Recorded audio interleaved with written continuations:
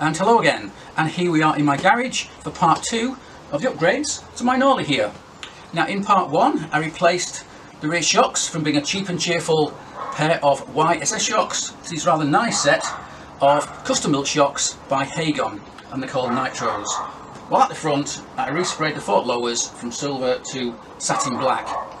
So here in part two what I want to do is to upgrade the hydraulics on the bike. But before I can do that, I'd like to address some really annoying oil leaks I've got out of the engine that have been there since I built the bike. And I think finally it's time to try and find them and fix them.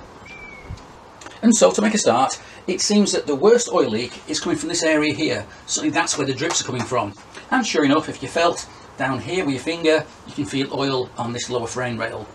So where could it be, where could it be? And I must say, I thought the issue would be round about the oil lines to and from the oil filter. And one reason to suspect it might be the oil filter, or its housing rather, is because I had to mount it in a really odd place. Now I'm not sure if the camera can pick it up, but the oil filter is right here, my finger is. It's between the back wheel and the back of the engine. Not an ideal place to put it, but it's the only place I had left on the bike to find a space to uh, mount an oil filter. But having said that, I've now checked the oil filter lines here. These lines go in and out of the oil filter housing and they're dry. There's no oil at all, so it's not that, thank God. However, if I now follow down these oil lines, I get to the bottom, lowest point, and sure enough, they're covered in oil. And that implies that the oil leak is not coming from here, but perhaps it's coming from either somewhere above here and dripping down, or it's coming from somewhere forward now these oil lines go forward to the oil pump, which is behind here. So I suspect I've got to take this cover off and uh, investigate some more. And so with all the bolts removed and the big nut holding this cover in place, I came along to remove it from the engine and I've hit a problem. Let's see if I can show you what the problem is. A bit tricky because I'm doing it from the wrong side and as I pull it off, unfortunately, it hits the exhaust system. Again, because this is all non-standard and this downpipe is in the way. So I'm going to have to remove this downpipe, remove the silencer, get it off the bike and finally I can then remove this thing and hopefully see what's going on with the oil lines as they go into the oil pump down here somewhere. It's all a bit of a pain but that's what happens when you build a one-off bike. And there it is off at last. That's the sprocket cover gone. And now hopefully I can access some more of these oil lines. So I'll come back in five minutes and we'll see what I can find. And now here I am lying on the floor once again trying to see what's going on. And what I found is just one of these hose clamps was a little bit loose that one there. So I've tightened it up and fingers crossed that may have been the problem but somehow I doubt it because that oil line wasn't too too bad. It didn't feel very oily at all. I've checked all the rest. They all look fine so I've gone back to my potentially my first idea, which is that this breather tube here, which comes down here and ends, not sure you can see it, but it ends right there, right there, which is just in front of where all the oil was. So I'm just wondering if when I find the bike up, having let it sit for so long, you know, there's oil where it shouldn't be, and it's blown out of here and along the back here. So I think what we'll do now is I'll put it all back together again, and at some point I'll fire it up and run it for a little while and we'll see if my little fix solved the problem or perhaps even the fact that this oil line here, this breather line, had oil in it, maybe it's uh, been wet sumping or something so maybe it'll clear itself. Anyway, fingers crossed, fingers crossed. So that was all a bit of a waste of time really, but as I say, I did find one, one small problem there. That clamp, that Jubilee clamp there was, was um, a little bit loose. Anyway, let's now put it all back together again and uh, we'll move on. And now it's time to move on to upgrade the hydraulics of the bike. And I think we'll start off with this piece here. Now what we've got is a homemade hydraulic clutch conversion. The bike was originally cable clutch, but I converted it to hydraulic using this slave cylinder from Honda Blackbird and this adapter here. Um, nothing wrong with it, it works quite well, but I think it could look a bit better. So in this parcel here, we have an upgrade, and in here, let's get it out, we have, get it out here, a similar upgrade, this time from Oberon. It's made to fit a Honda Blackbird, so it's the same as this. So hopefully it's just going to be unbolt this, bolt this on, get it bled, no great problem. And the reason I got this was because I was very impressed with the version I bought for my Z project and uh, I thought it would look pretty good on here. And so now let's unbolt this piece and get this new Oberon slave cylinder on the bike. And so now I've removed the old slave cylinder, so pull out this push rod, there we go.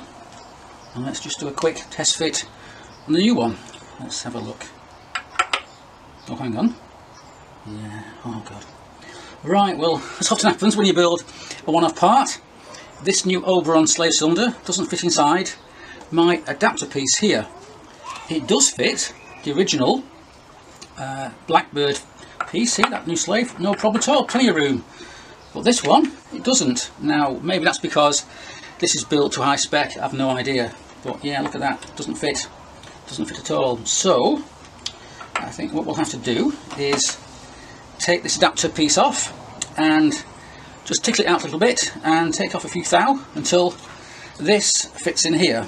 So as always, things are never too easy, are they? Okay, here it comes off. It was actually very tight, had to use a strap wrench to remove it, that's fine. If I unscrew this, you'll see how it works.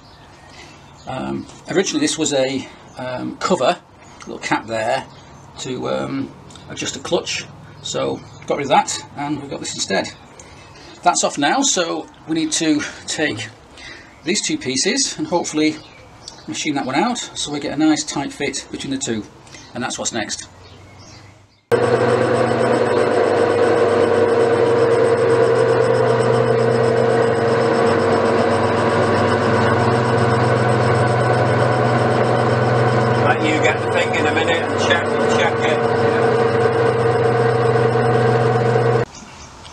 Now here we are back on again. I've got a new slave in place. Everything's ready to go. I've now just got a bleed system and hopefully we'll be done.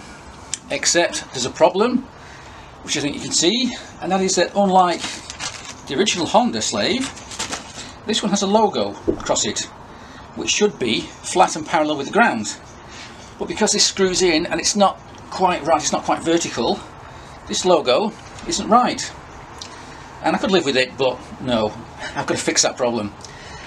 And to fix it I think what I'll have to do is remove the whole thing and take this adapter back to the workshop and have a tiny amount machined off the face where it hits the case here.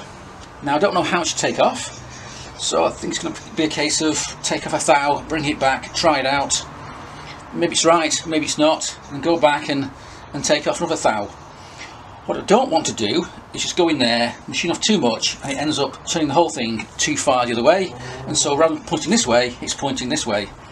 So yeah, a bit of a pain. So what I've got to do now is take the whole thing off again, and go back to workshop again, and get this thing on a, well there goes a, a seal, but never mind. Um, and with it being screwed on really tight, I'm just using my strap wrench to help it off, because I can't do it by hand. Here we go, let's have a look. Come on, there you go. That worked quite well. Let's get that off there.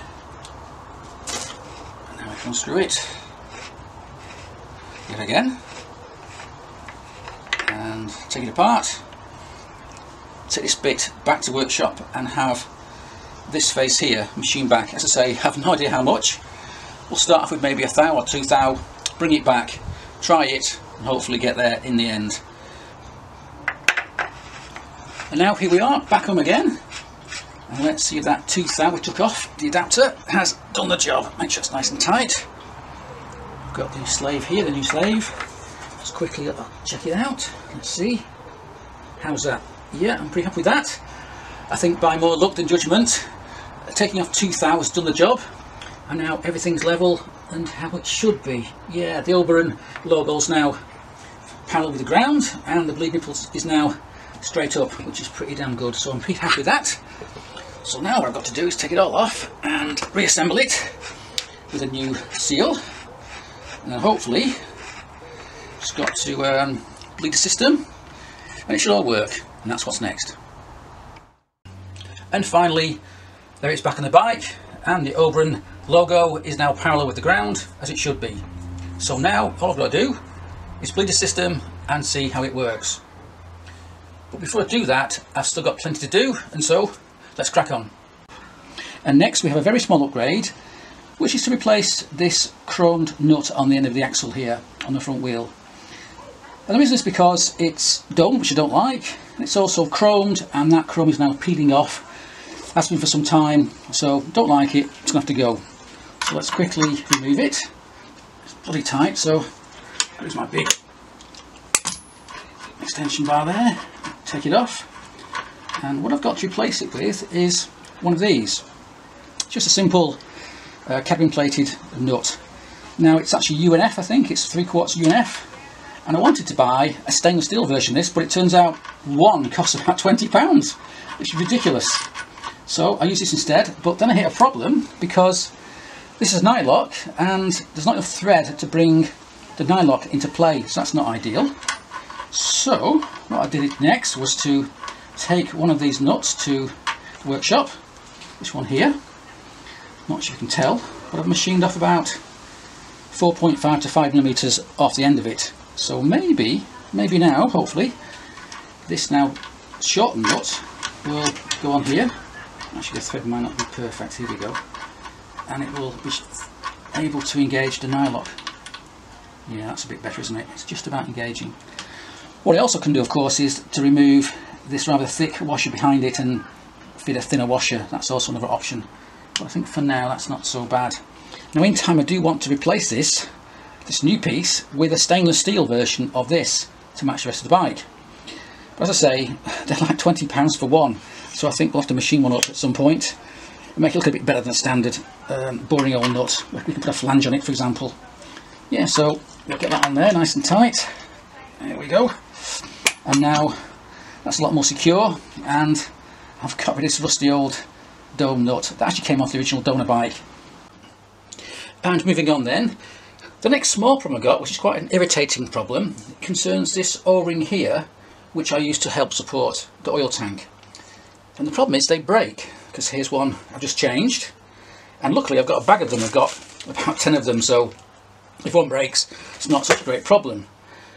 But the issue I've got is that these are O-rings and these are made to be strong in compression. They're not very strong in extension and I think that's why they break. So even though these are pretty damn thick as you can see they don't last long on the bike when they're being stretched like this. So I did have an idea of using a zip tie because that way I can adjust it just right. The slight problem with that idea is that the uh, zip tie plastic is quite hard and it'll probably dig into the paint on the hook behind here and eventually wear it away and that'll cause a rust spot. So then I thought well perhaps I could still use a, a zip tie but get some kind of tube or something, some sort of soft tube and push it through and so the zip tie is sort of inside the tube and thus I'll protect my paintwork. But so far I've not really found anything suitable to use. But I'm still looking, I'm still looking. But in the meantime, I have to say, I have got bags of these things. I've got at least two bags, I've got 20 of them. But given the fact that this is broken, just leaving it on the bike unused for a few months, I don't think they're going to last very long when the bike's being run on the road. So that's something I need to address. I just don't yet have a solution.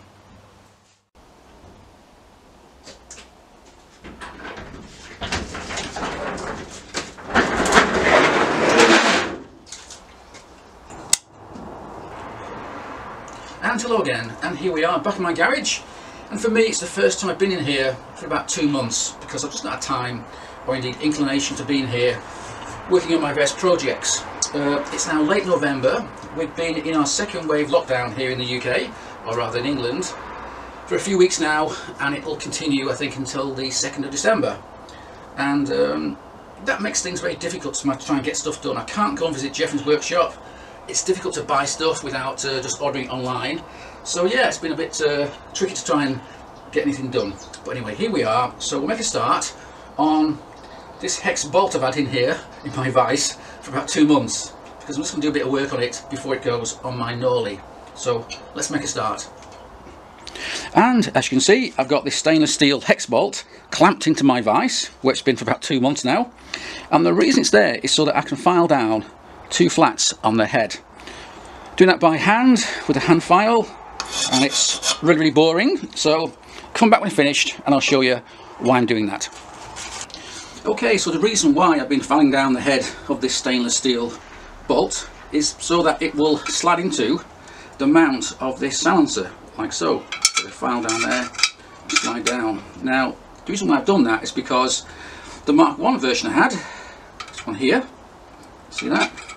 It also fits, but it's a little bit shorter by about, I don't know, three, maybe four millimeters. And that only just, that one only just um, engaged with the nylock of the nylock nut that held this in place. So wasn't ideal. So I knew about that a while ago, but it's just so boring to do that I've only just now got around to doing it. So that can now go back on the bike and uh, hopefully it'll stay there. And now there's a silencer back on the bike again and hopefully that's what's going to stay. Now I do have quite a few other small upgrades I want to make to the bike over the winter time but for now I'm going to have to stop because this bike's going to have to go back into my conservatory at the back of the house there's no room to work whatsoever because I need the space in here to continue working on my Guzzi project which is currently in the back of the house and the reason for that is that I sent off the paintwork, the bodywork rather, for paint. Uh, let's see, in September, it's now late November and I've got a call from the painter to say it's imminent, he's going to start it in December and it'll be ready by the first week of January. Fingers crossed, fingers crossed. And that means I've got to get the bike completely finished, ready to take that new paintwork when it returns at the beginning of the year. And so for the time being then, work's going to stop on the Norley to make room for my Guzzi project. And so no doubt my next video is going to be about the Guzzi. So anyway, thanks for watching and cheers.